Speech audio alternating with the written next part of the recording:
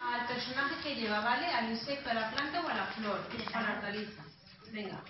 Érase una vez una agricultora que tenía un huerto muy grande.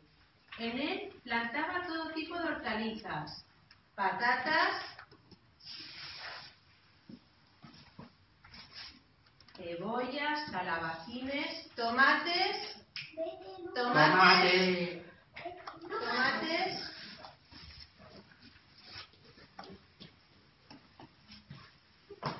y lechugas. Algunas de ellas las recogía para comer en casa con su familia y otras las vendía en el mercado.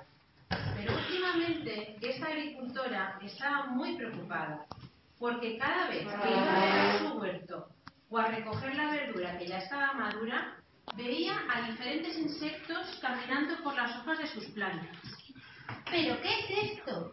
¿Qué son estos bichitos? ¿Quién ha hecho esos agujeros en las hojas de mis plantas? ¿Es que ha venido una plaga de insectos a mi huerto?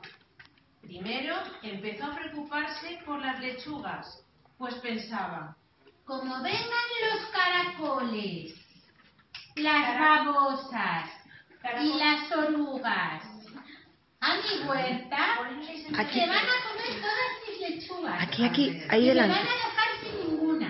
¿Y cómo me haré yo las ensaladas? ¿Y qué lechugas llevaré al mercado para vender? Voy a tener que poner un poco de veneno en las lechugas para que los caracoles que se acerquen a comérselas se mueran y no me dejen sin lechugas. Así que puso veneno en las lechugas. Y a la semana siguiente estaba de nuevo otra vez preocupada.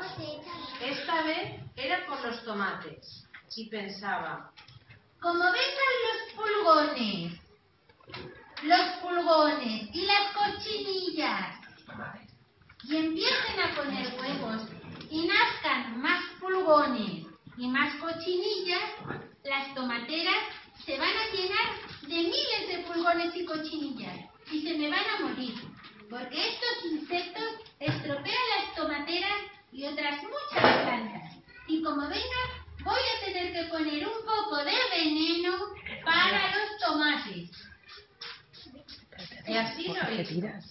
Pero a la semana siguiente la agricultora seguía otra vez preocupada. Ahora era el turno de la patata.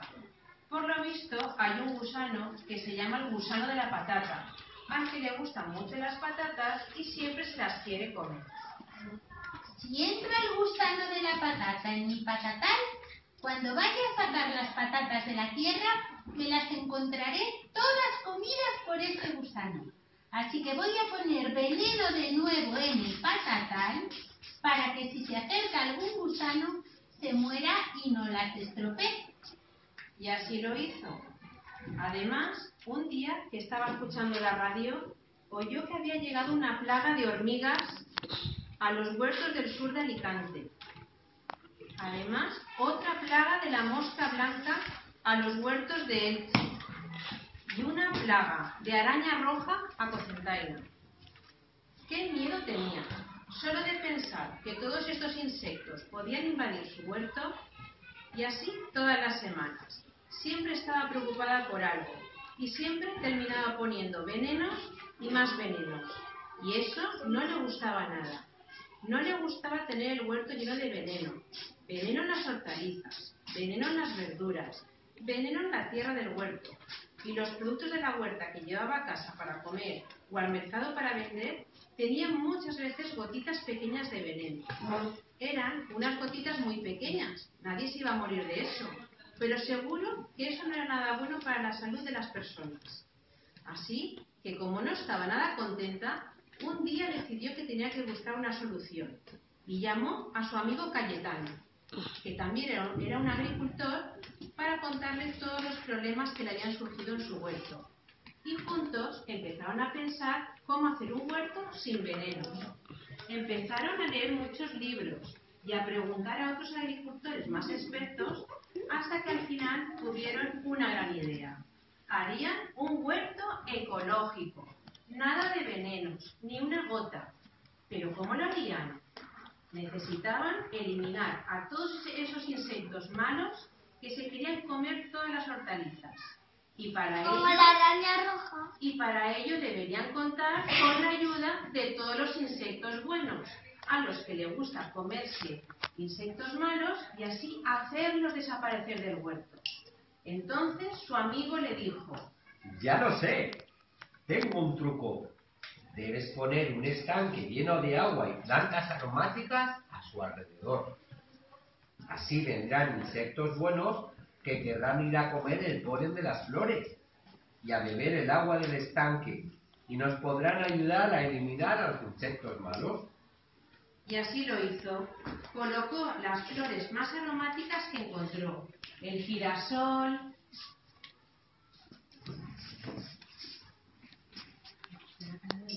Al lado del estanque.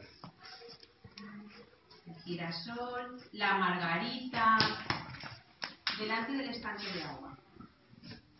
La lavanda. Lavanda no, no, la lavanda. Fernando. Y de repente empezaron a venir familias de avispas en busca del polen de las flores y construyeron allí sus colmenas. ¿Pero qué haré con los caracoles y las babosas? Pues tenemos varios trucos. Puedes poner trocitos de cáscaras de huevo o bien un vaso de cerveza, porque ninguna de estas dos cosas les gusta. Y así se irán corriendo. ¡Qué buena idea! ¿Y qué puedo hacer cuando vengan los pulgones y cochinillas y quieran estropear mis tomates?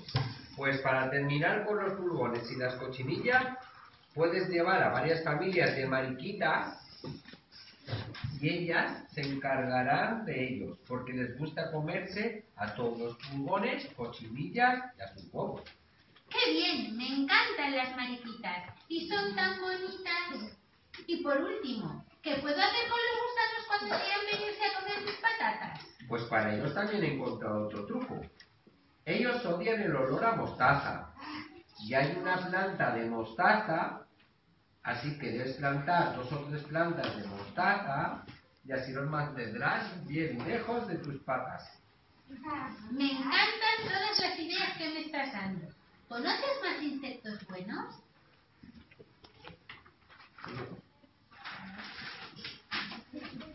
Eh, claro, por ejemplo, el cien pies al que le gusta la humedad y vive debajo de las piedras.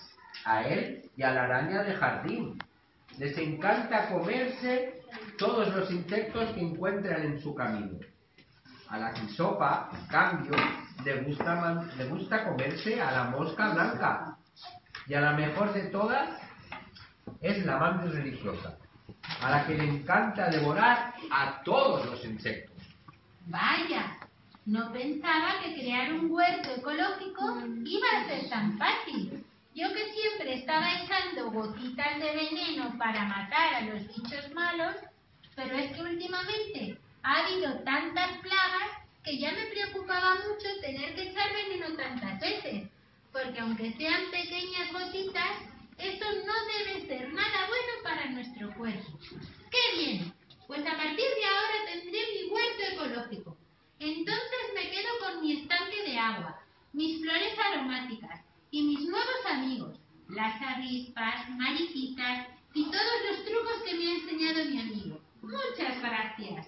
Y fuera veneno, caracoles, babosas, orugas, pulgones, cochinillas, hormigas, mosca blanca, gusanos y arañas rojas.